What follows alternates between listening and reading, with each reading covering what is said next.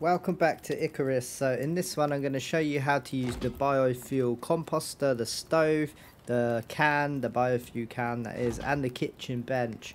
So um, you can find in tier 3 like the kitchen bench and the stove and the biofuel composter and the biofuel can. That's where you unlock it all at tier 3.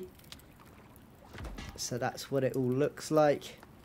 So with the biofuel composter placed you want to chuck the can in the device's inventory and then you want to gather either some raw meat, some sticks, some cooked meat, some fibre or wood or you can do all of them and some tree sap. You want to combine all that in the biofuel composter's inventory over to the right here and uh, and chuck the can in as as you can see the can is filling up with fuel so that's how that works. And one little tip here is if you unlock this you can turn wood into sticks.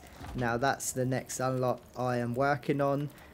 I've nearly there actually since making this video. I've gone up a couple of levels but it's right here.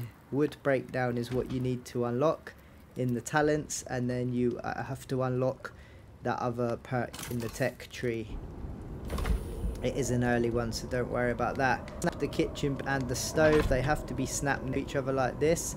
Think of it as your kitchen. You have a worktop, you have your workspace. That is the kitchen bench. And then your oven or stove is where you do the cooking, obviously. So just think of it like that. They need to be snapped together to make yourself a kitchen. So then our can is filled up now so we're going to drag that over. And then this is actually like I say you mix these ingredients. There is um, you need to mix the tree sap in the mortar and pestle to make that by the way. I thought I'd share that one. You probably already know that though at this stage. And then you access the biofuel stove. Throw in your biofuel can in the fuel slot down the bottom and now we can make all these good recipes. Now they are a lot of good like health and stam buffs. They're storm resistant. There's a lot of experience gained through these as well. So you can make bread and stuff like that. So I'll just show you a couple of recipes.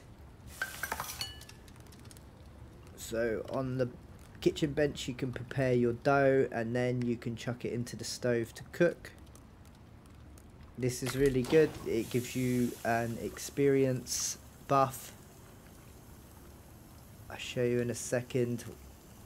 You got 125 max stam and 10% experience, 10 health and minus 80 food.